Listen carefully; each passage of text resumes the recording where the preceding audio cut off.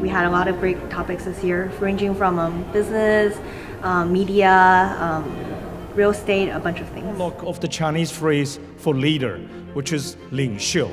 I have today just three points about Chinese leadership. China has led in many different ways at many different periods. China continues to lead by example.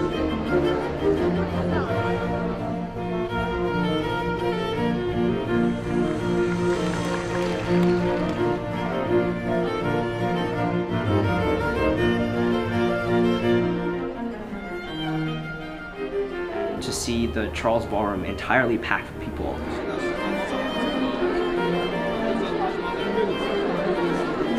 Being able to meet so many new and exciting people.